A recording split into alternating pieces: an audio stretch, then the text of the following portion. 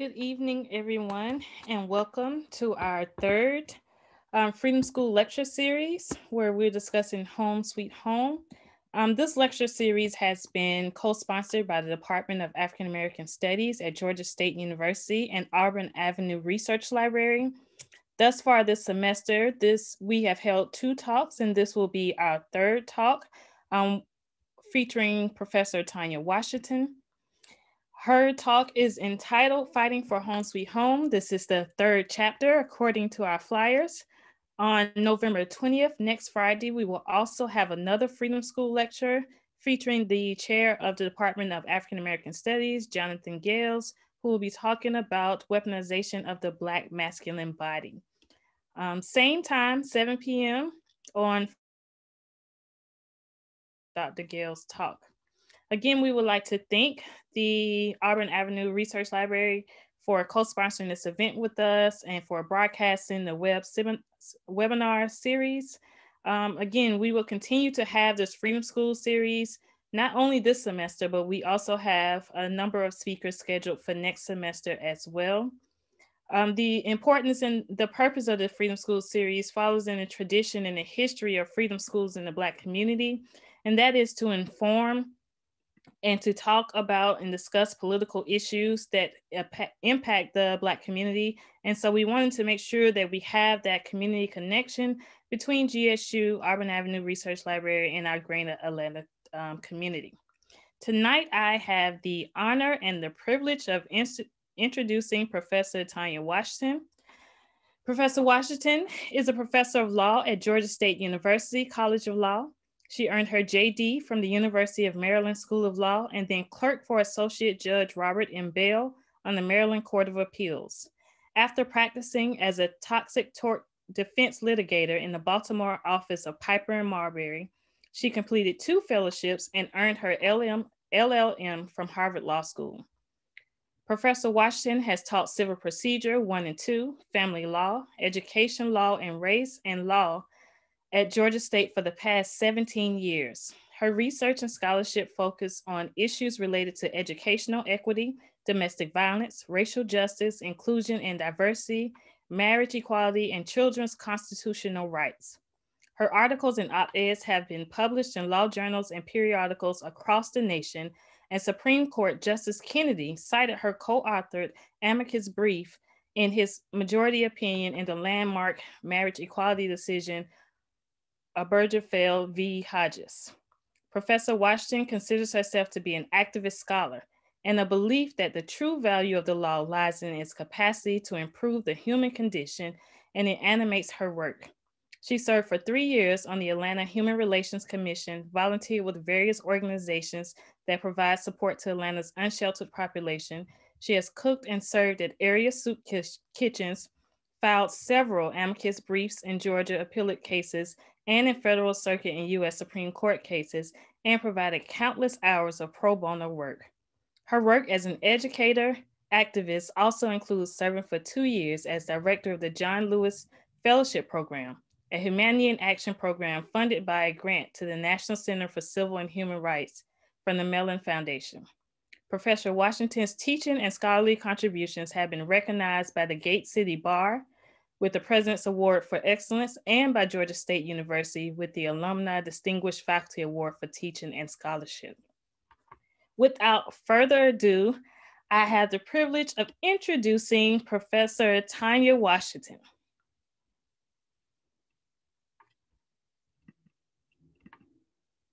Can I?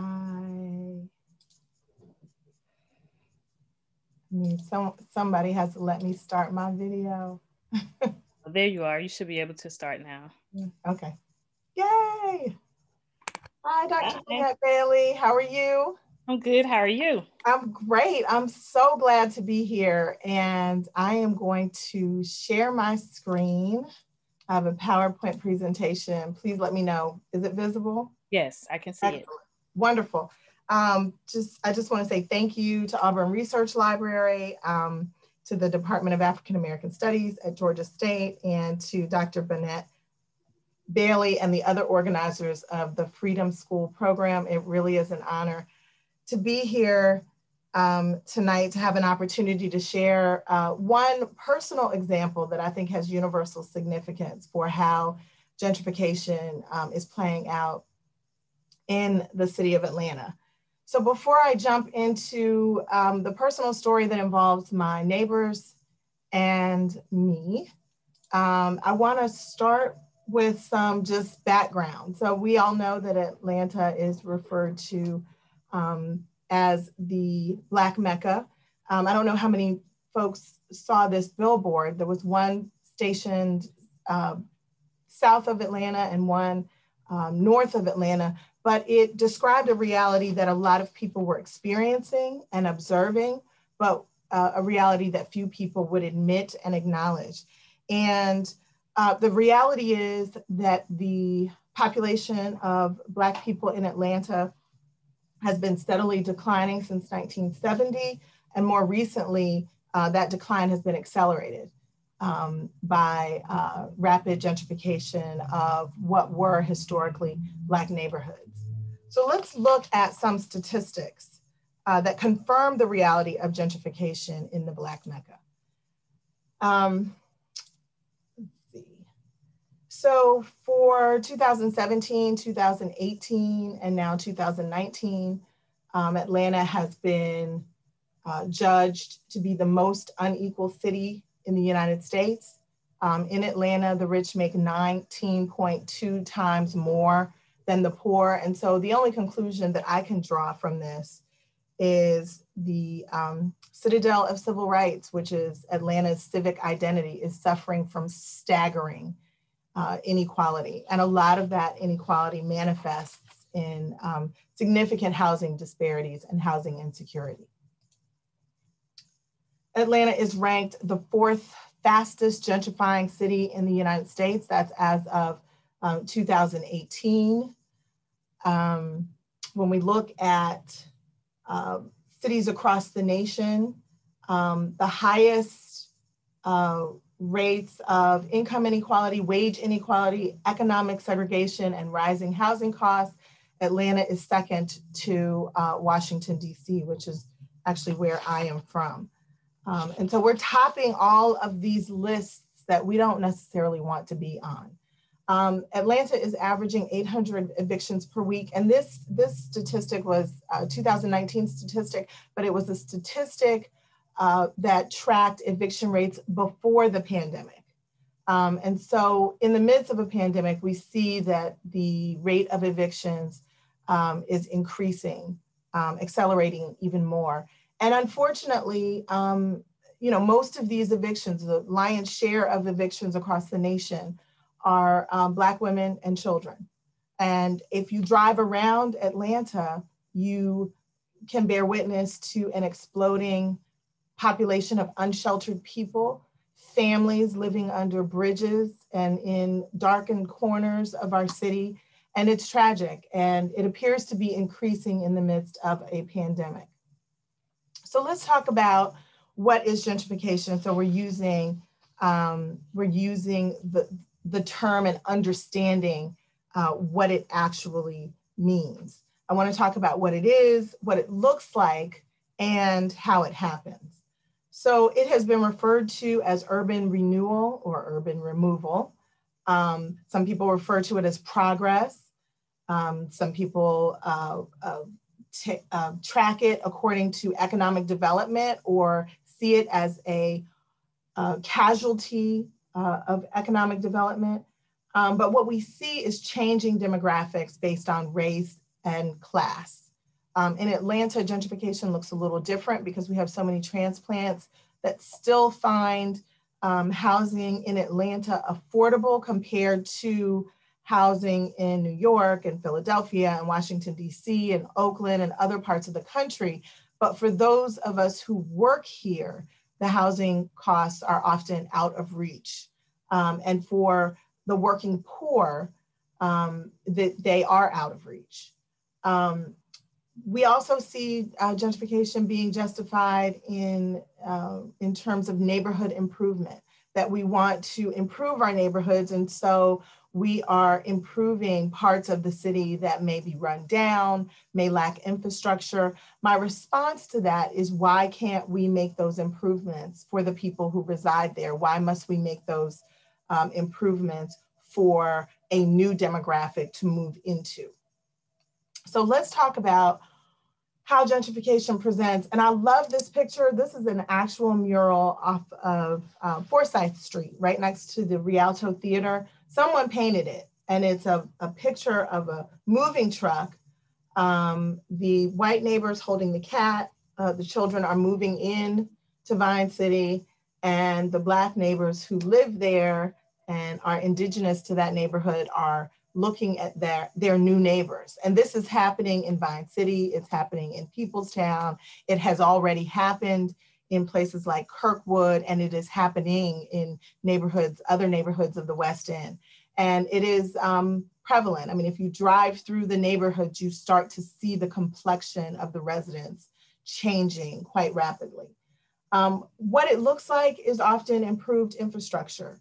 Um, sidewalks are fixed, lighting is improved, um, fiber optic wire is laid, streets are repaired, um, flooding is addressed. So we see all of these real uh, improvements. And the question is, if we had the resources to do this when the neighborhood is changing, why could we not have done it for the original residents indigenous to that area? We also see um, the proliferation of charter schools in areas that are gentrifying.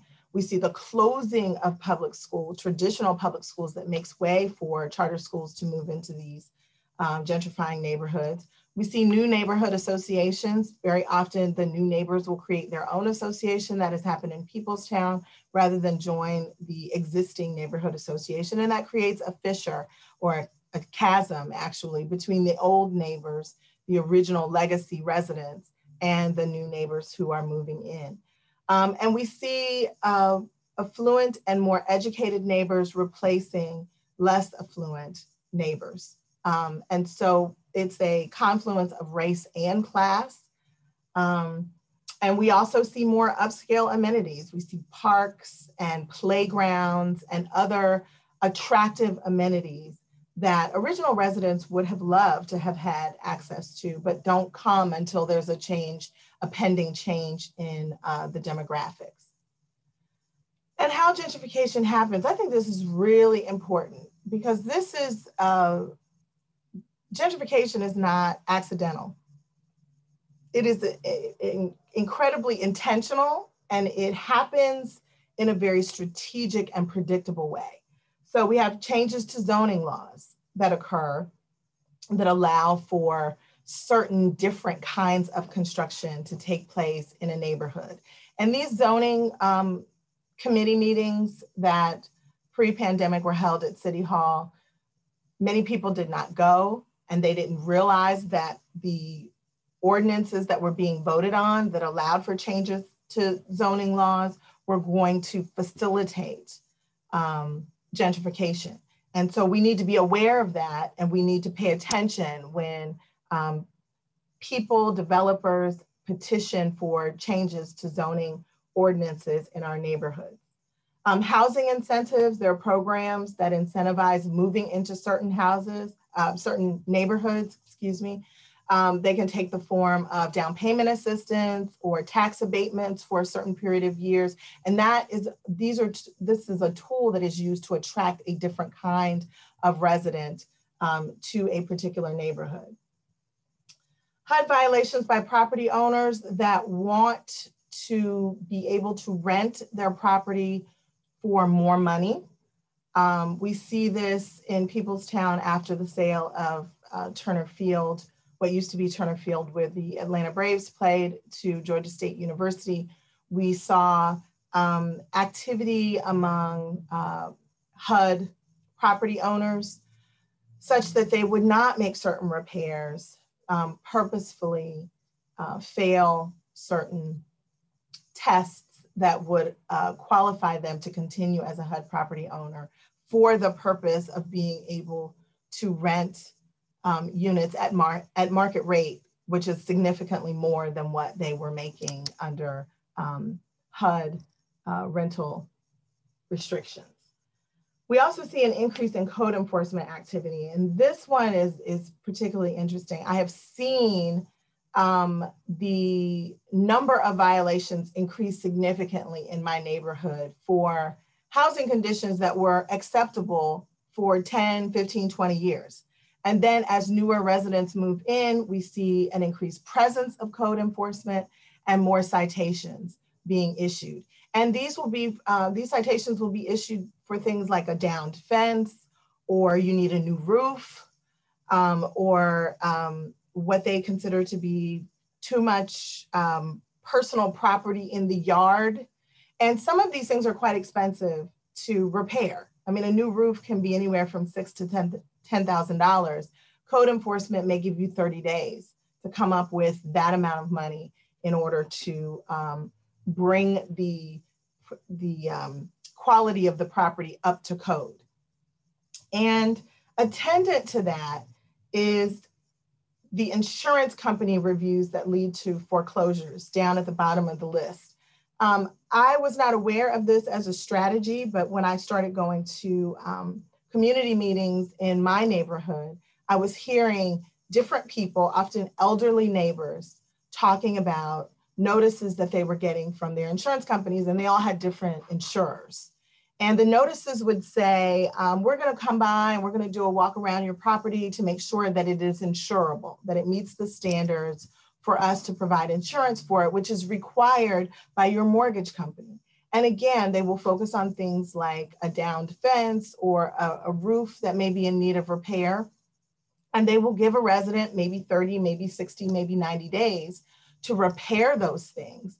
And if the resident is unable to do so because some of these repairs are expensive, what they will do is they will cancel the insurance policy, which then triggers foreclosure uh, by the mortgage company. And the fact that this was happening, that so many people were reporting this in the same neighborhood with different insurers means that they are acting in concert. And it was also tracking um, the rapid gentrification of the neighborhood. So I observed this and then started doing some research um, to, to find out that it is actually a play out of the gentrification handbook. So that's why it's on the screen. Um, increase in property taxes, people are being taxed out of the neighborhood. My property taxes went from $1,200 one year to $6,000 the next year to $8,900 the following year. So in two years, it went from $1,200 to $8,900, right? Which divided by 12, you know, is a substantial increase in your um, mortgage, right? Because it's the what you owe the mortgage company plus the property taxes. A lot of people cannot absorb that kind of an increase. Um, and th these are significant increases um, that are forcing people out because they can't pay the taxes. And we also see a number of people losing their homes because they can't uh, pay the taxes and investors buying these houses, these properties up just for the cost of the taxes. Um, the increase in rent often is because of the increase in property taxes that the rentor, uh, the property owner, has to pay, and they pass that on to the renters.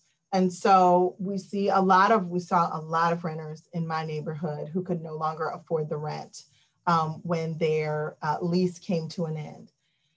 And then finally, eminent domain, um, which is the story of my neighbors and my struggle against the city of Atlanta. It is the most aggressive tool that is used um, to displace people and to facilitate gentrification. And what I found troubling um, was a New York Times article that was published in March 2020. And uh, Atlanta was specifically mentioned as one of the cities that the Trump administration's Army Corps of Engineers uh, reached out to. And the transaction um, is an exchange uh, from the Army Corps of en Engineers and the administration of support for infrastructure projects. So they will help with the engineering, the design, and some of the financing of um, infrastructure projects. And in exchange for that, the cities agree to use eminent domain to evict the people who live in the places where they need to do these, where they want to do these infrastructure projects. And that is incredibly, that's a very troubling transaction. And so I will put in the chat um, during the Q&A the article, the actual article, because I want people to read it. One of the reasons I am telling people my story is because there is a pattern and practice to how this happens. And I want people to recognize the signs um, and to be able to um, pr protect themselves um, and res respond and resist when they see that this is happening to them or their neighbors and their community. So I live in Peoplestown, which is still, I think, a historic Black neighborhood in Atlanta. Um, it is southeast of downtown and um, Turner Field, now Georgia State's stadium sits in Summerhill, which is right adjacent to Peoplestown. And Peoplestown is between Hank Aaron, where the stadium is, and Grant Park, uh, where the zoo is. So it is quite a valuable, um, it contains some very valuable property that is very close to all the interstates, conveniently located to downtown without having to get on the highway, and a really great neighborhood this is my house, which I love um, a lot. I moved in um, with my son when I was a single mom. That was about nine years ago. And I moved in, my neighbor, my uh, cousin lives two doors up. I had friends um, in the neighborhood who I would visit. In fact, that's how I came to uh, discover the house and um, wanted to live in a neighborhood that was still a real place. You know, there were um, kids playing in the street, um, people sitting on their porches waving to you as you pass by. Just a really great place. And um, when I bought it, you know, I, I, had no idea that it was going to present um, a set of experiences that has really changed my life. So I want to just say a little bit about eminent domain law in Georgia because I also want, again, I want people to understand what their rights are.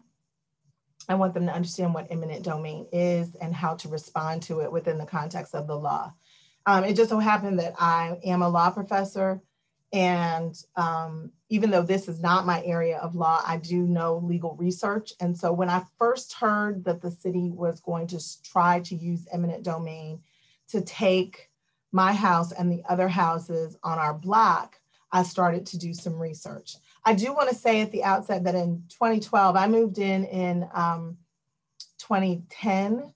Uh, no, I'm sorry, 2011. In 2012, there was flooding in Peoplestown. A lot of the neighborhoods downstream from the stadium, um, which contain uh, areas that are have been paved over as uh, for parking lots, a lot of the neighborhoods downstream from the stadium flood. And part of the flooding, and I'll talk about this a little later in my presentation, the flooding um, is caused by so much asphalt and so little permeable space around the stadium. And so when they paved over those parking lots, they created um, a flooding issue. And then that flooding issue is being used to facilitate displacement and gentrification. So often what we see is a cycle of neglect and then predatory use of law to displace people under the auspices of correcting problems that were created by the neglect. So a number of my neighbors, there were 27 people on the block, nine people sued the city of Atlanta, and they didn't want to, they didn't want the city to buy their houses. What they wanted was the city to fix the flooding. Um, the city told them as part of their negotiations, um, we're giving you these offers. If you don't accept them, you're going to lose your house to eminent domain because we plan to take the entire block. The rest of us were not part of the lawsuit because our houses did not flood in 2012. And so there was no, we had no standing, as we call it in the law. We had no reason or justification to participate. And so we were just sitting there watching what was happening um, and, and alarmed because we were going to be affected by it, but we couldn't um, participate in the negotiations. And so what I did when I heard that this, this was the city's intent um, was to research eminent domain law in Georgia. I had not studied this area of law for 20 years, and that was when I was studying for the bar. Um, I did not know that it was still a real thing that really happened to people. So I wasn't, you know, this came out of nowhere. And my thought is if it can happen to me, it can happen to anyone. If it can happen in Peoplestown, it can happen anywhere. Georgia actually has a property owner's bill of rights, which is unique among states that offers some procedural protections for property owners. Um, again, eminent domain is not about have you paid your mortgage, have you paid your rent. Eminent domain is the constitutional authority of a state entity uh, or a uh, governmental entity at the local, state, or federal level to take your property for a public purpose and give you just compensation. And just compensation does not mean what you would like to get for your property. Uh, it often means the least that they can pay you um, when they take your property. So um, before they're before an entity is authorized to do that under the Georgia Property Owners Bill of Rights, the entity is required to meet certain notification and hearing requirements, none of which the city of Atlanta engaged in. Um, the Georgia law also prohibits using um, eminent domain for economic development. There are places, there are, are states throughout the United States where a shopping mall is defined as a public pur purpose that would justify taking people's property. Um, a park, um, in other places like Georgia, uh, infrastructure is often the most cited justification uh, for taking public property and in a, a, person's property. And in this instance, the city is citing um, flood mitigation as its justification. Um, there's also the protection of a 20 year statute of limitation uh, limitations that's triggered by the uh, use of eminent domain. So if the city sues a property owner and takes their property by eminent domain and doesn't use it for the stated purposes for 20 years, then the property owner has a cause of action against the city and can get their land back. Um, most people don't challenge the taking they just litigate the just compensation. And part of the reason that they don't challenge the taking is because the entity, and in this case, the city of Atlanta, is presumed to have a public purpose. Um, there are short filing timelines and restrictive, a very restrictive appellate process. Um, it's very expensive to find lawyers and engineering experts to help you make the substantive and procedural arguments that you would need, need to make to challenge the taking effectively. And so most, most people don't challenge the taking. It's expensive and the chances of prevailing are slim to none. Um, I suspected and later confirmed that the city did not need the property that they took. And so I was um, blessed to find an attorney willing to fight for me, to find engineers willing to fight for us, me and my neighbors. And, um, but that's not the, that's not the normal case. I understand that. I am privileged as a law professor to have had access to a network of people and to have a job that inspired people to take a chance on me. And despite all of those advantages, I'm still at a disadvantage with respect to the city. So the reality is the average person doesn't stand a chance when the city decides that they're going to take property by eminent domain. That does not mean that all hope is lost. There are some strategic things that can be done. I would do some things differently um, if I knew then what I know now. And that's what I want to share with folks when I tell this story. I also want to highlight that um, blight in Georgia is now a justification for eminent domain. And this is particularly disturbing because one man's blight is another man's status quo. So the definition of blight is vacuous, it's culture, um, it's culture specific. um, and what constitutes blight can change as a result of gentrification. And so um, this is a new addition to Georgia law within the past three or four years that is going to put um, a lot more property owned by folks um, to make that property vulnerable to an eminent domain taking. Okay, so after the flooding um, in 2014, the city commissioned uh, a plan by outside engineers that gave them all of the information about the area, the topography, the flooding, how it, you know, how it occurs, how often it occurs, when it occurs, and in response to the city's request for a commission plan to address the flooding, there was a report produced that said, put the park and pond or put a park and pond next to the stadium where the flooding occurs. And so you can see in the map um, the uh, wet pond or detention pond that's right outside of the stadium. And again, they were, uh, the commission plan was explicit that the um, floodwaters accumulated as a result of the um, paved areas around the stadium, and that if they wanted to address flooding downstream from that, not just in Peoplestown, but in other areas, capture the water where it pools. It's also more environmentally sustainable to do that, which they also mentioned in the report, because this water is just rainwater, which you could repurpose and use for gardens and other things. Under my block is a stormwater sewage system. There's a, a pipe that's large enough for you to run, uh, for you to drive an 18 wheeler through. And so this is a map of my block Underneath it is this huge pipe and it contains, uh, you know, a mix of um, stormwater and sewage water. And so you can't repurpose water that has sewage in it, right? And as you see these ponds, although it looks pretty in the picture, um, what I continued to say in the media and in response to this proposed plan by the city is you want to create an open sewer in the middle of a residential neighborhood. You want to create poop parks and ponds that are um, that emit a smell and attract bugs and that do not belong in the middle of a residential area. All around this block are homes. Uh, our block is the heart of Peoplestown. And you see they have a plan for three, um, three ponds. There's a waterfall where my house is in the lower left-hand corner.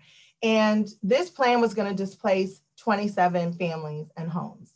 Now, I found this curious because the city owned the property around Turner Field. So my question is why not use the property you already own, build the parks, park and ponds there where the water pools and, uh, and where the water originates, the floodwaters originate, and where the water can be repurposed. Why would you displace 27 families and homes and put ponds on a block that are essentially going to function as open sewers. And they said, oh no, you know, when there's a stormwater overflow and there's sewage in the ponds, we'll come out and clean it up, which essentially means dumping chemicals into these ponds so that um, you can address the smell and I guess to neutralize the bacteria that would be growing therein. So to me, this was just a bad and unnecessary plan um, and it certainly was a departure from what was recommended by the, um, by the engineering firm that the city commissioned. So these are my neighbors who I adore. Um, some of them are no longer on the block. Mr. Darden and his wife, Mrs. Darden, um, and I sh share an attorney um, and Mrs. Maddie, who has uh, earned her wings earlier this year, uh, lived on the other block, and I'm, I'm going to talk about her in, in a few moments because she's, she's a very special lady.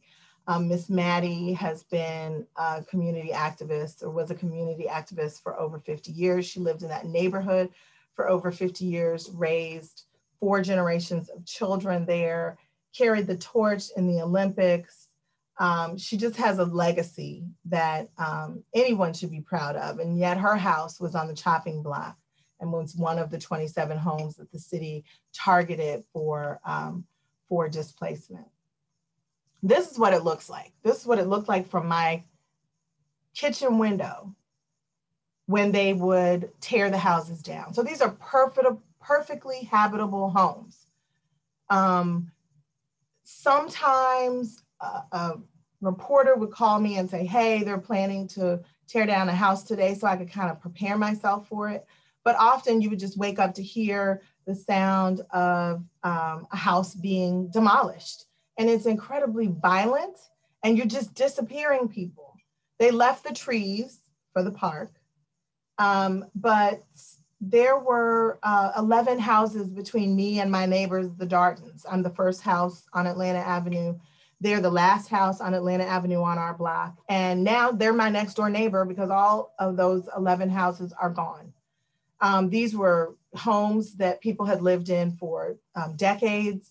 There were new neighbors who had just moved in and renovated the houses. There was a, a real mix of people on the block.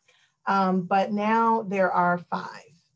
And um, it, I just want, I, I, I use this picture in my presentation because I really want people to see and appreciate the violence of, of this process. So we decided we were going to fight.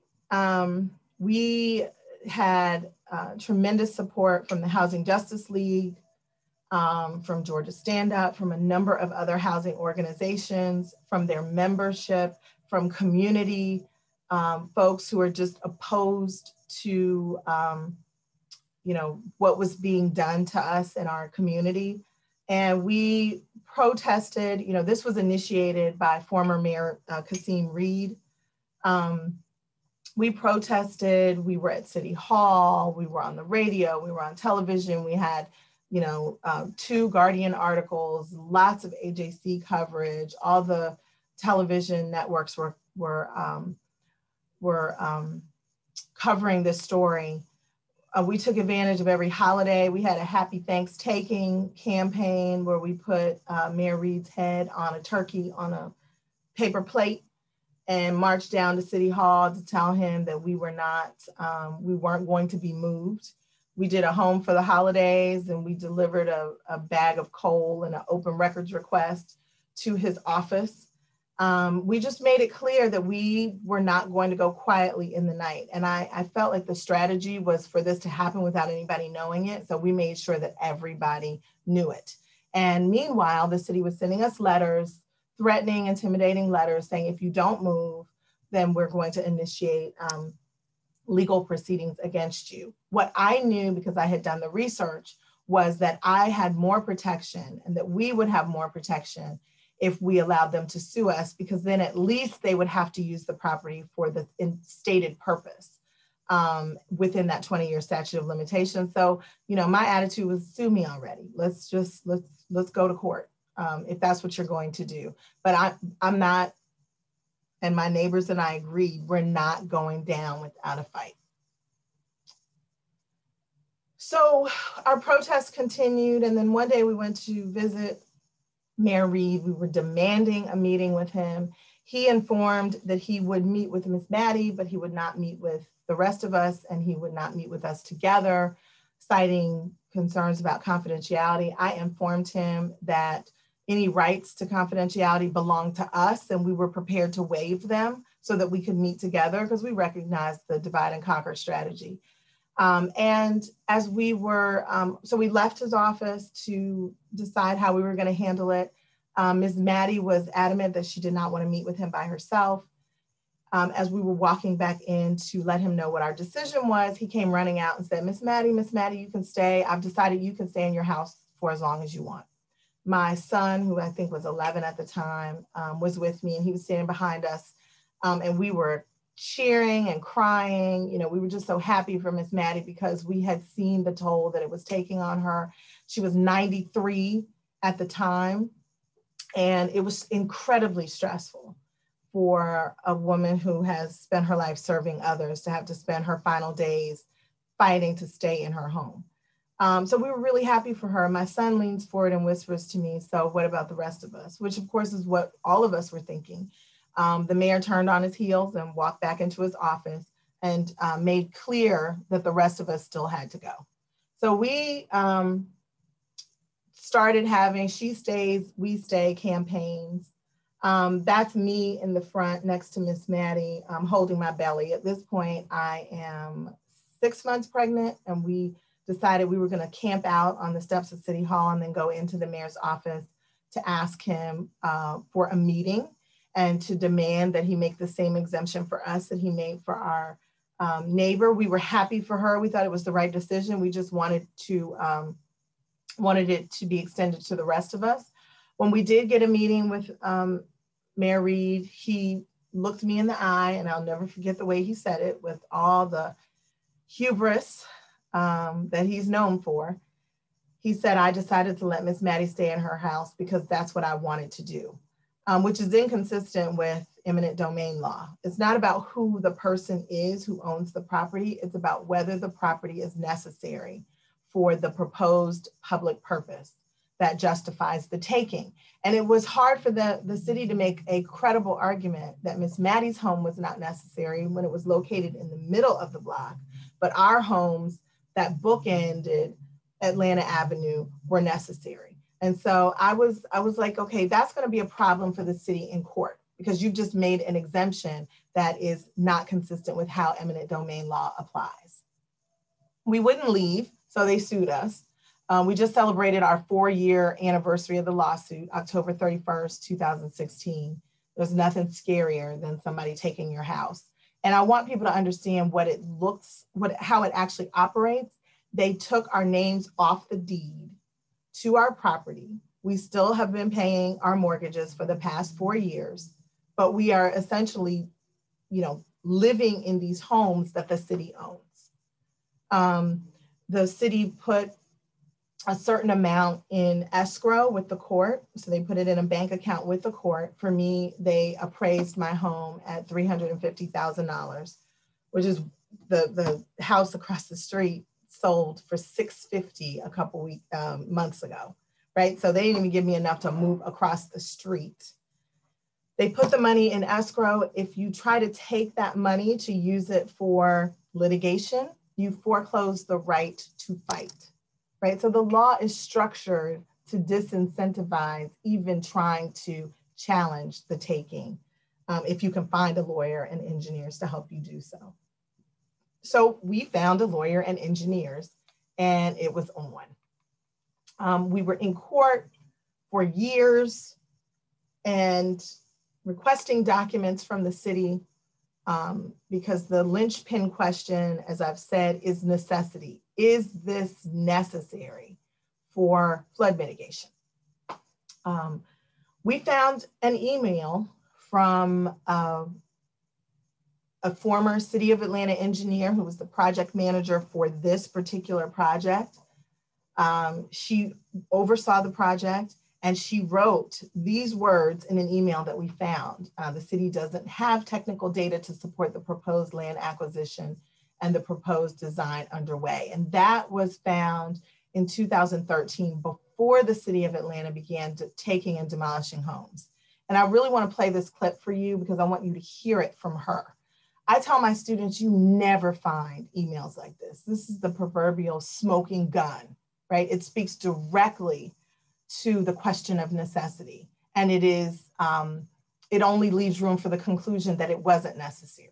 So let me play this. Um, Lakita, please let me know if um, you can see my screen. Can you see that? Um, no, I still have your um, image. Okay, so I'm gonna I'm gonna stop sharing for a second and then just share the video screen so you'll see that. And let me know if that, can you see that? Yes. Excellent.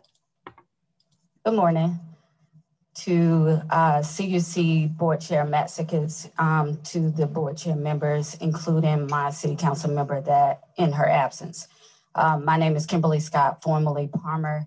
I am a West End Historic District uh, resident as well as a former City of Atlanta employee. Um, as you may be aware, um, or if not, I am the engineering project manager uh, that during the discovery period, the emails actually sparked a re-review of this case, as well as uh, getting us to the point where we are right now um, and looking to overturn the eminent domain uh, ordinance and uh, condemnation uh, processes that are in place. Um, I would like to appeal right now to the true public servants uh, that uh, are my former colleagues that worked with me uh, on this project, as well as in the Department of Watershed Management.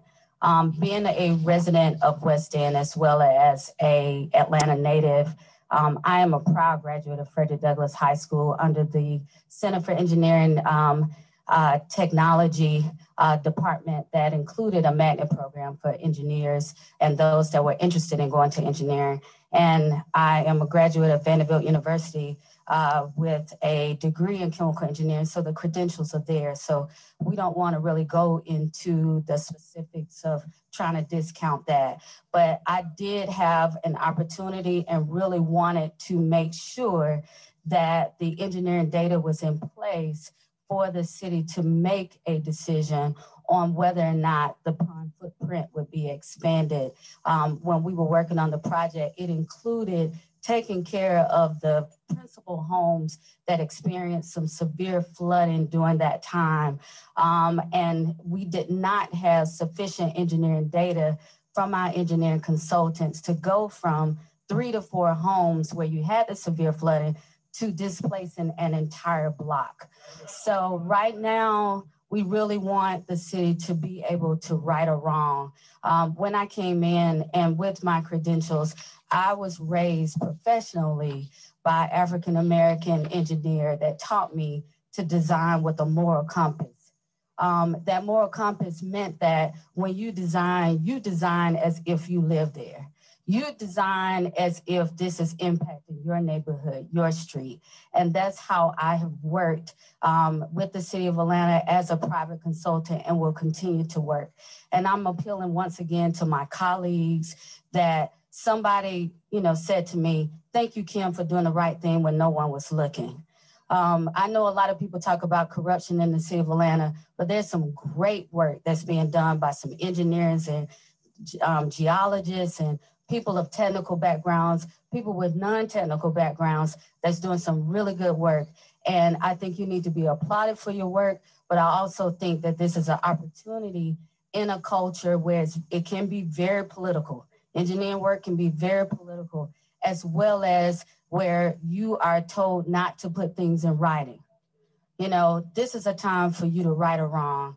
This is a time for you to look at this and say at that time we did not have sufficient data to move forward with condemnation legislation that would displace an entire block. This is the time for you to reconsider the engineering data that has been provided right now and look at a redesign that will keep these residents in their homes, as well as, and I would like to add to not undermine the structural integrity of their homes.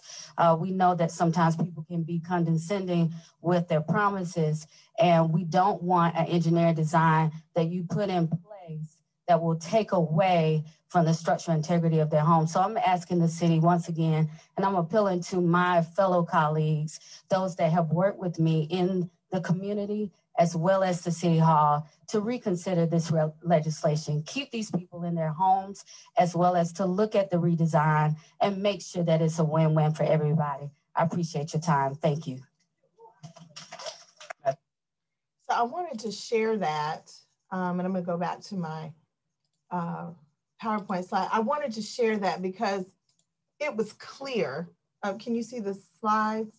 Are you still? Yes, okay, slides. Great, thank you. Um, it was it was clear that that this wasn't necessary. Um, we did not anticipate finding this information, but there it was because this engineer who was responsible for signing off on the project decided to document her concerns. The person to whom she uh, submitted this email has subsequently been um, indicted. Um, I believe it was 2019 for bribery. Uh, that, that was the Department of Watershed Commissioner Jo Ann Macrina. And the bribery had take, was taking place at the same time that they were um, settling with my neighbors to move. And many of them negotiated a settlement against the backdrop of a threat that if you don't move, we're going to take it anyway. So I would love to be able to say the story ended here, right? We found the email, dramatic ending. Um, and the city says, no, we're not going to pursue this. That's not what happened. Um, we continue to fight. And in uh, February, it will be eight years. It will be four years since we were sued, but there were four years leading up to the lawsuit that we were fighting. And we are committed to this fight. Um, our rallying cry is we shall not be moved. We sing it at every one of our protests and rallies. And um, just on a, you know, a historical note, I know 50 years ago, if I had even hesitated when somebody said move, there would have been hell to pay.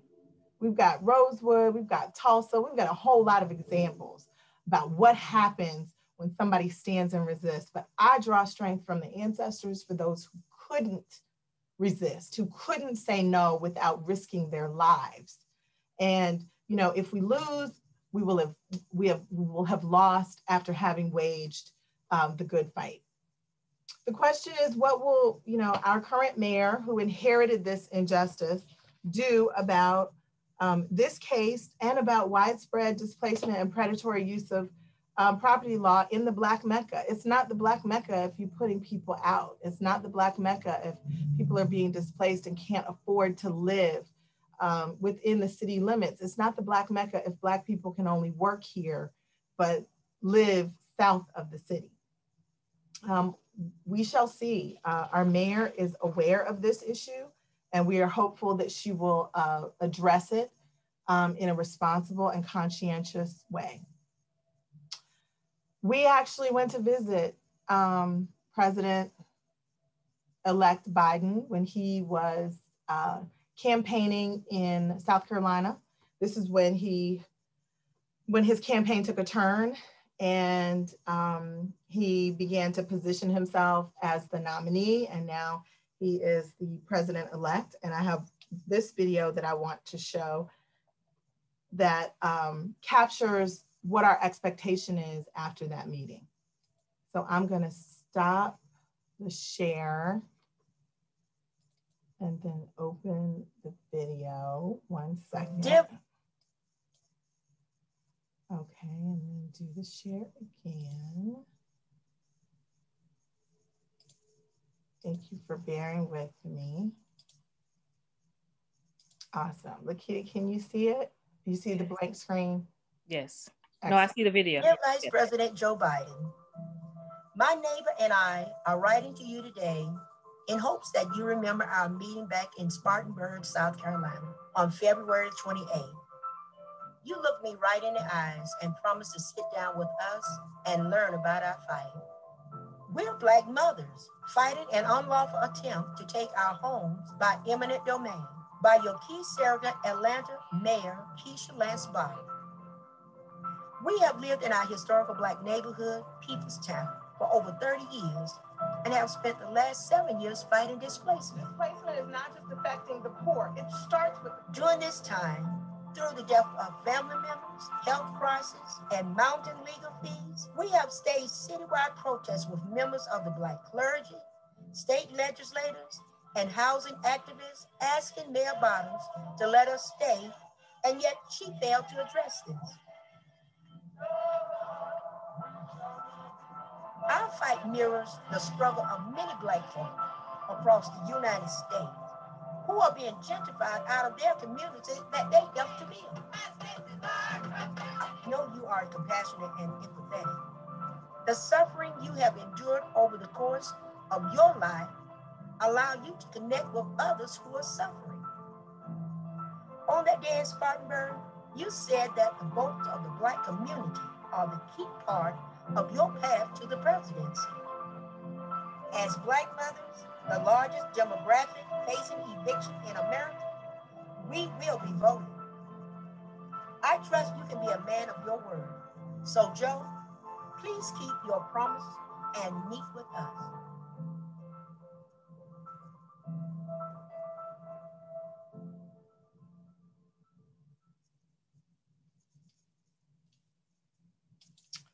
Okay, let me make sure that it stops. Um,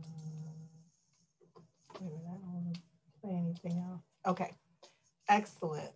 So let me go back to my PowerPoint slides. Can you see that, Lakita? Yes. Excellent.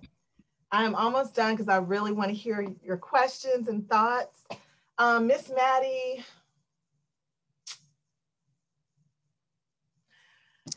she passed away um, August 1st of this year. And um, what I, is a, what I count as a blessing is that she passed away. She took her last breath in her house the way she wanted to but it bothers me tremendously that she passed away concerned for whether her children would be able to hold on to the property in her memory. Um, because Mayor Reed granted her a reprieve, she, um, you know, the city never sued her. And so they will have to sue her if they want to acquire that property. Um, I hope that they won't. I hope that this comes to an end soon. Um, I hope that we're not going to be put out in the middle of a deadly pandemic um, where infection rates and death rates are increasing. Um, but the reality is that the pandemic has exacerbated eviction rates and it has not stopped gentrification. And so we are, we continue to live in a question mark. Um, we don't know what is going to happen. We're still paying our mortgage. Uh, our names are not on the deeds to our homes, and we are at the mercy of Mayor Bottoms um, in terms of making a decision to allow us to stay and to stop um, the legal proceedings against us. Um, we're hopeful and you know i i expect that that she's going to do the right thing. I just hope she does it quickly. Um, so what's next? We just you know we keep fighting. Because um, when we fight we win. We also learn lessons that we can share so that other folks can fight. Um, because this is based on the article um, from the new york times uh, published in March of this year, this is going to happen in lots of cities with old infrastructure across the United States. There's a built-in public purpose when you have crumbling infrastructure. And so our neighborhoods, Black and Brown and working class neighborhoods are being targeted for this kind of predatory action. And I want people to be prepared. I don't want anyone to feel the way I feel some days when I pull up to my house and just don't know what the next day is going to bring. When they sued us, an eviction uh, dispossessory notice was attached to the complaint. So at any point in time since October 31st, 2016, we could have been evicted and can be evicted. Um, so we just keep fighting and praying and standing together as community with other folks who are supporting us and um, telling our story so that people are aware of what's happening and can be aware if if they start to feel that this is coming for them or their neighborhood uh, or community. So with that, I thank you and open it up for questions, comments. Thank you, Tanya. That was great. I knew the first time I heard about your fight that we definitely needed to include you in this freedom series, this freedom school series, and you definitely did not disappoint. Thank you so much for sharing your fight and all of your knowledge that you have gained. And hopefully, this can, as you say, not only bring awareness to what is going on, but also help other people who are in the fight. So at this time, if we have questions, you can place them in the Q&A and or the chat. I saw questions in the chat and I have them um, to ask Professor Washington. So there are a number of questions. Um, one question is what role, if any, does the Beltline play in gentrification? Well, projects that do not have, so there are lots of projects like the Beltline that have an ascribed percentage of affordable housing that is supposed to be built by the developers, right? So often, you know, I, it, the first step has to be that um, that amount is stated, that it's sufficient, and that we're defining affordable housing um, in ways that mirror what people are earning, right? So affordable housing to me is not a one bedroom apartment that costs $1,200 that's that's just not affordable and it's certainly not going to be affordable for a family of four or a family with children and so we see projects like the gulch we see projects like um, the beltline where there's a certain amount of affordable housing but we need to be careful about how that term is used and what the um, what the um, rental rate is for what they consider to be affordable housing. We also need to look at the amount, the length of time that that kind of housing has to be provided for. It could be five years, it could be 10 years, it could be 99 years. That amount of time is going to be important. And we also need to figure out if there are enforcement mechanisms if a developer fails to provide the promised amount of affordable housing. And so there have been, um, there's been controversy surrounding the Beltline, um, particularly with respect to that enforcement piece. If developers don't provide the amount of housing? Are there enforcement policies that have teeth? Or is it economically worth it for a developer not to provide affordable housing, pay a fine, but make more money renting units at market rate?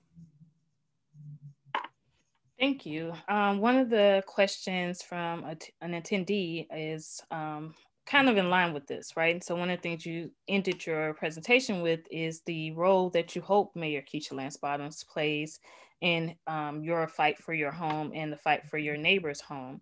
And so this person asks, is it true that Mayor Keisha Lance Bottoms is being considered in Vice President Biden cabinet as housing secretary? And if so, how can um, they're basically questioning how can Biden consider a mayor whose administration is under multiple federal investigations and Mayor Keisha Lance Bottoms has a history of the biggest displacement of Black families in Atlanta, Georgia. So I have heard um, several news broadcasts reporting that she is being considered for a cabinet position and housing um, in particular. And I think that's consistent with her, rep her uh, reputation as housing mayor. I've heard people refer to her as that um, during her term.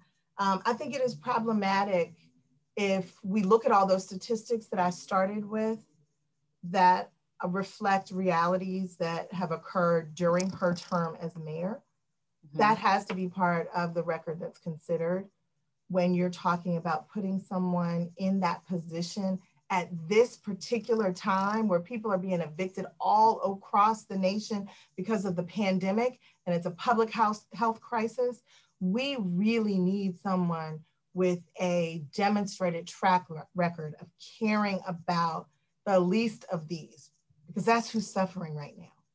And by all accounts, it's going to get worse before it gets better. We need people to have housing so that they are not vulnerable to contracting the disease. Um, mm-hmm. shelters are not safe. Living on the streets is not safe. And so we need somebody with a demonstrated track record is who's going to implement policies that are directly focused on alleviating this suffering. And I don't know if uh, Mayor Bottom's track record recommends her for that position. I guess we shall see. Okay. Thank you. Um, another question is, and you kind of talk about this some, but can you explain more the role of the expansion of GSU um, in this idea of gentrification within the city of Atlanta? So um, Georgia State University has a strategic plan and one of the goals, I can't remember if it's goal three or goal four, speaks to um, addressing the some of the uh, biggest problems facing you know, urban areas. And one of the biggest problems, problems facing urban, urban areas is gentrification. And so when the um, university put forth a proposal to purchase Turner Field, what the community asked for, and they asked this of City Hall, was um, that a community benefits agreement be part of the request for proposals so that people who wanted to purchase Turner Field would do so knowing that they had to comply with certain things that were stated contractually comply with things that were stated that reflected what the community wanted as part of that transaction. Um, and the city did not make the community benefits agreement part of that request for proposals. And so Georgia State, when it purchased the property, had no obligation mm-hmm. to respond to, to what the community needs. Um, the community was incredibly disappointed because we often get researchers in Peoplestown doing all sorts of funded research by faculty at Georgia State. And if you're using the population for your work, then there's an obligation to be a good neighbor, right? And to respond to some of the needs of the community into which you are moving. And that hasn't happened. It's not too late. You know, the university has an opportunity as it expands its footprint in that neighborhood to be a good neighbor and to collaborate with the community. And I hope that that is what we will do as an institution. Another question is what court makes the final decision? Um, is your request to the mayor to withdraw the, the suit? So we, ha we have asked the mayor to withdraw the suit. Um, the city has spent a lot of money. Um, at last count, it was $200,000 litigating this. Um, countless hours by, uh, you know, city of city hall staff, and also the uh, billable hours of outside counsel. So we would hope that they would withdraw the lawsuits um, and then do whatever they need to do with that block, mm -hmm. with the land that they have. Um, we were in Superior Court. We are waiting for a jury trial on the just compensation question. Even though we're not interested in selling our homes, we're interested in um, staying and being left alone. Um, but we can't appeal it until after we have that jury trial. And as many of you may know, jury trials were put on hold in March. We, our jury trials had not yet been scheduled, but jury trials were put on hold in March. And I think they're going to resume in at the end of this month, but there's a backlog of eight months for the jury trials that were postponed. Ours has yet to be scheduled. So we're in a whole, you know, we're in purgatory mm-hmm. waiting for the process to play out so we can, you know, if, if we're not successful, we can appeal um, to the appellate court and ultimately to the Georgia Supreme Court and possibly to the US Supreme Court if it comes to that. Um, you mentioned this is my own personal question uh, about the tactics of uh, about the fact that if this was 50 years ago, you would not even be able to have this fight. And you cited places like Rosewood and Tulsa. Um, but this process um, that you're talking about, as far as taxes and the increase on taxes, is something that it, that we have seen um, impact blacks in, in in more legal ways, right? And we've seen it primarily on the coast of South Carolina and yeah. Georgia. How would this, um, how would staying in your home could you detail how staying in your home would impact the um, economic prosperity of Black families if they were able to keep their homes? So, you know, obviously, you know, your home is, um, you know, the place that you lay your head and, you know, you have a, an emotional attachment to it, but it's also a financial asset. Um, it is also part of Black wealth, right? Um, my mother often reminds me that land is in short supply. God's not creating any more of it. And there appears to be, as I look at the increased use of eminent domain and some of these other tools um, for displacement, there seems to be a land grab going on. And um, heirs property is another way that lots of Black families are losing land. It's titled in everybody's name, cousins and uncles, and nobody is maintaining it. And in Georgia, then it becomes blighted and it's subject to eminent domain takings. There's all of these ways that um, the amount of land that Black people have is strategically being diminished. And so we need to be aware of this. I would like to be able to leave my home to my children, right? So they don't ever have to worry about, no matter how bad the economy is, at least they have a home. Mm-hmm. Um, but if we don't have that, then we're losing generational wealth. And so we have to fight to keep the wealth that our families have been able to attain. And I think it also decimates our communities. You know, we had a community it wasn't just houses, these were families and, you know, people who with shared experiences. I, you know, would visit my families, uh, my neighbors' homes and, you know, um, babysitting and carpooling and like all the things that make a community a community when um, gentrification displaces people, where do, where do people's social and um, familial and support networks go? What happens to that? Mm-hmm. And there's also been some research around the health effects of displacement. I saw that with Miss Maddie, you know, the stress of believing that she was going to be displaced um, took a toll on her physically and emotionally and mentally. And when you displace people from the networks that help to define them and their existence, then you do damage not just to the community, but to the individual person that's targeted. Okay, another question is pertaining to your fighting. Um, I don't understand how the city was able to take your names off of your deeds. So the question is, how were they legally able to take your name off the deeds, and does that work against your case? Um, that's a great question. So the law allows it, right? It's the most aggressive tool. There are other things they could have done. They could have um, sued us, and then we could have fought over who owned the property while we still owned it before a magistrate court judge.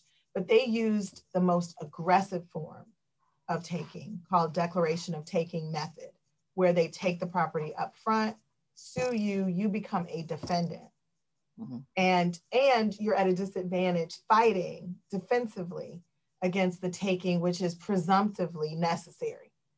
Um, so that's how it affects you because you're now in a defensive posture of having been sued, working with these really tight deadlines um, and timelines, and working against a presumption that your home was necessary. And so in your fight, when you when they take your home without you approving it, then you don't even qualify for the just compensation aspect, right?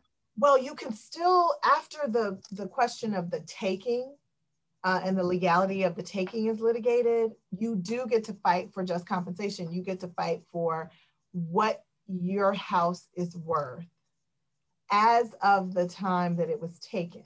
Mm-hmm. Right? So the the 350 or 375 thousand dollars i can't remember what the exact amount is because i'm not interested um, that they put in escrow is not enough, as I said, for me to move across the street in 2020 into the $650,000 house across the street. And we're talking 50 yards from where I live. So just compensation, it sounds just and fair, but it's not enough to move in a comparable home in a comparable neighborhood. Thank you. Another question that is along those same lines is someone's wondering if you could tell us how much the city paid for the homes that were um, taken from the homeowners? So it's a matter of public record. I don't remember exactly how much each homeowner got. Um, there was, and there were two groups of folks. There were the folks who sued the city, and so uh, they settled for an amount for the value of their home, and they also settled. Um, the settlement also included the amount of property damage caused by the flooding, right? Because those are the people who sued the city. Um, and then there was the group whose homes didn't flood, but who decided that they were going to settle with the city because it wasn't worth it. It was going to be expensive, time consuming. I understand why people don't fight because it takes a lot. It takes a toll on your psyche, on your time. Certainly, um, it's expensive. We owe over $300,000 to our engineers and our lawyers. Mm-hmm. That's what we owe for the four years of litigation. Um, so I understand why people don't fight because it's expensive and the chances of winning are slim to none. But the people who settled, um, whose homes hadn't flooded and they weren't part of the lawsuit, I encouraged them to get their own uh, appraisals um, because the, some of the city's appraisals were coming in thirty and forty thousand dollars less than what an independent appraiser appraiser hired by the property owner um, was uh, the value of the home um, was more was assessed at a higher value by those independent appraisers and so they settled for you know some some were as low as $120,000. Some of them were as high as 330. And again, that was in 2014, 2015, and 2016. Okay. Um, can you talk about how opportunity zones are impacting Atlanta? So the little bit that I know about opportunity zones um, is probably informed by uh, what I know about empowerment zones. Um, and you know, there's zones that are targeted for certain tax incentives um, to encourage folks to move in. Um, and I think they're often supposed to be designed to help um, Black people and working class people in certain areas where they want to encourage developers and other folks to make an investment. Mm-hmm. But they can often and have been criticized as facilitating um, gentrification um, because the investments aren't necessarily being made for the current residents. They're being made for the residents they anticipate will come to that area. Okay, thank you. Um, is gentrification done through elected politicians, builders, property organizations, and bankers collaborating together? I think there's a part of it that is intentional and collaborative um, by some of the stakeholders that were mentioned in that question.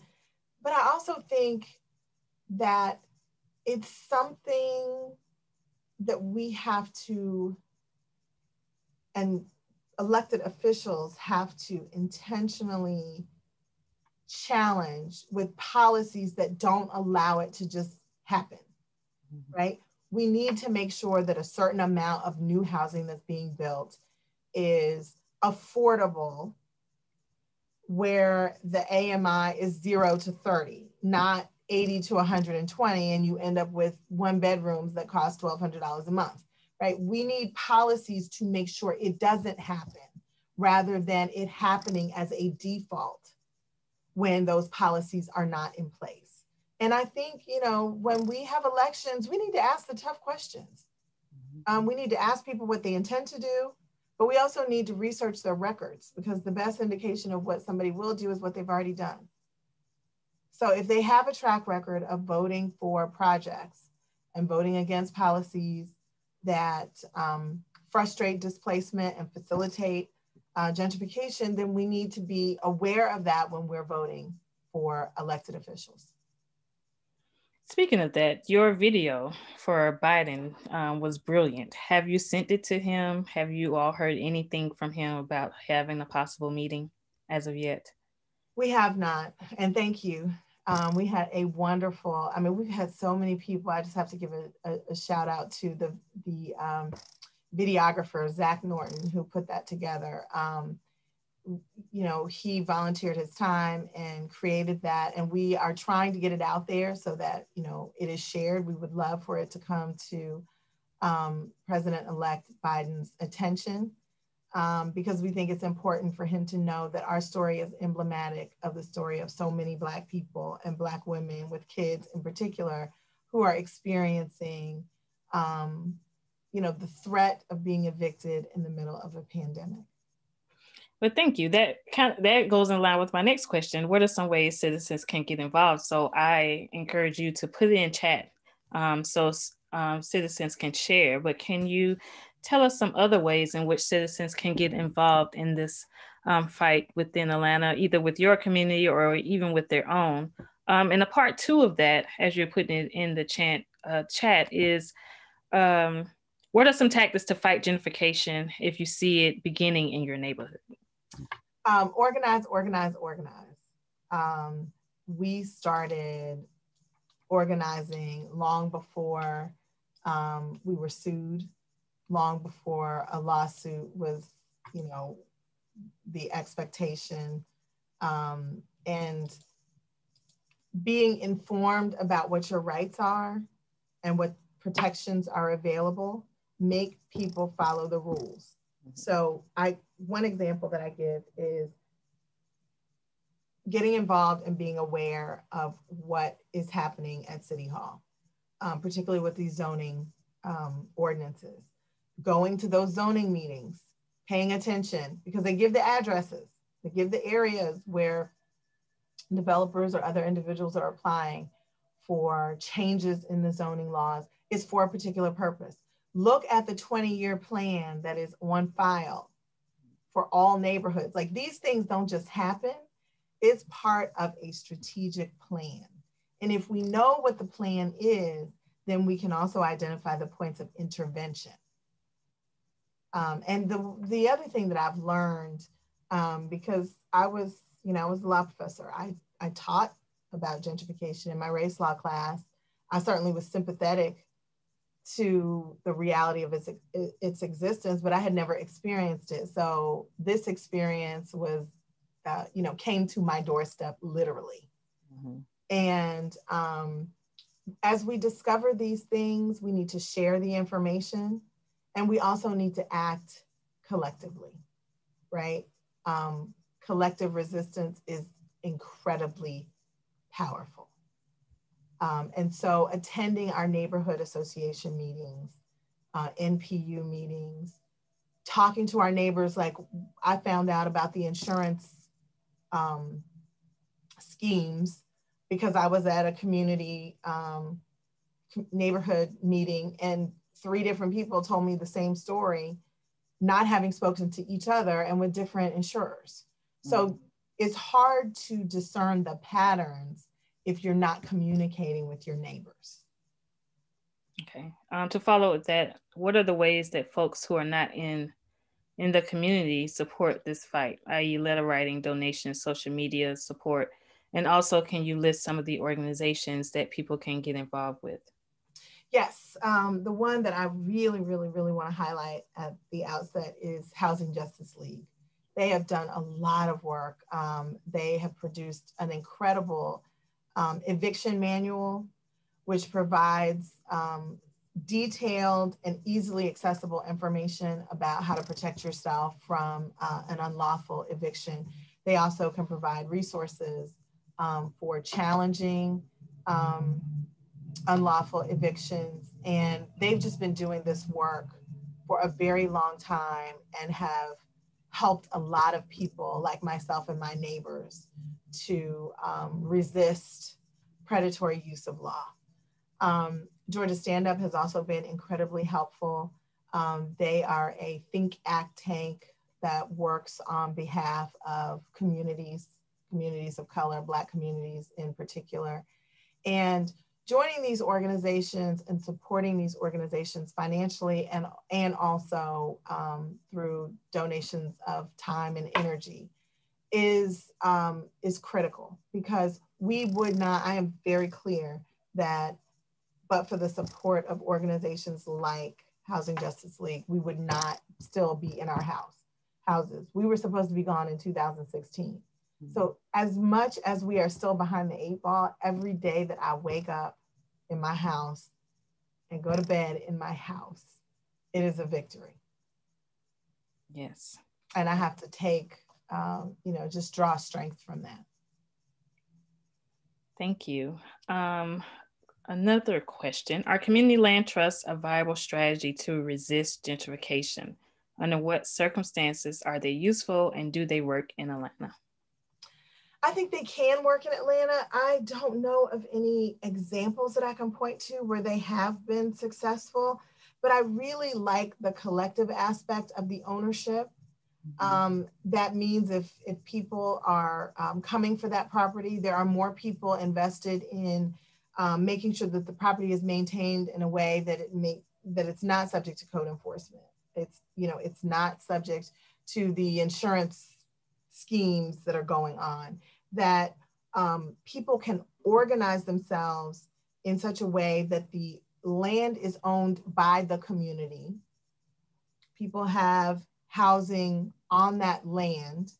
And if a neighbor is experiencing a particular challenge, then other co-owners can step in and provide financial support until that person can get back on their feet and everyone is making an investment in the ownership of that property. And there are, you know, different ways that people own property. If we look at um, indigenous rights and indigenous con conceptions of property, it's owned by the, you know, by the nation. It's not owned by individuals. And so the, the concept of the land trust is old, right? It's it's um, indigenous to a number of cultures. Um, Mexican Americans owned property as families and as groups, which frustrated their ability to protect it when, you know, uh, the colonists decided they wanted to take it and they need individual deeds, right? All of the requirements for preserving your property were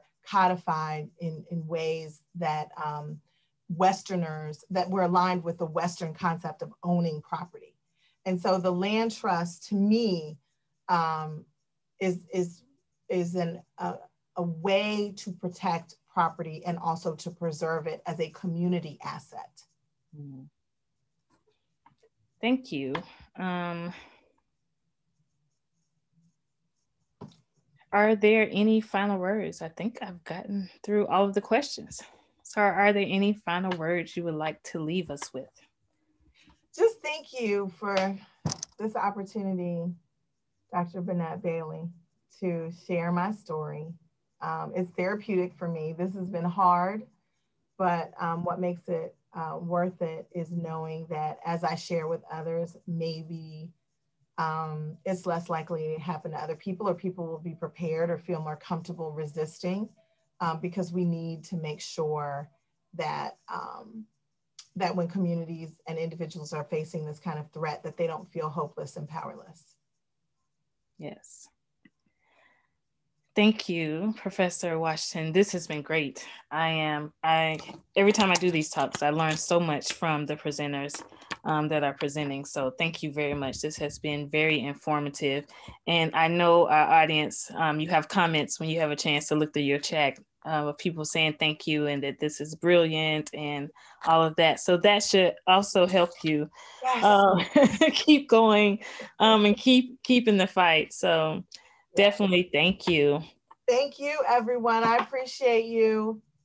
And again, we will have, um, we would like to thank the Auburn Avenue Research Library for uh, partnering with us to host these Freedom School series. Our next talk will be next Friday at 7 p.m. where we'll have Dr. Jonathan Gayles um, discussing, discussing Black masculinity. And we have a whole slate of people for the spring semester as well. Our final talk this semester will be Maurice Hobson, which I believe is on December 4th, and he will be talking about the Red Dog Police in Atlanta. Mm. Um, so yes, thank you. Thank you, Auburn Avenue Research Library. And also thank you, Department of African American Studies for co-sponsoring this.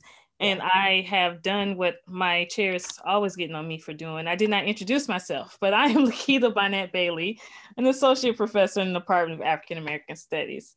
Thank you all and good night. Have a great weekend. Be safe. You too. Bye. Bye.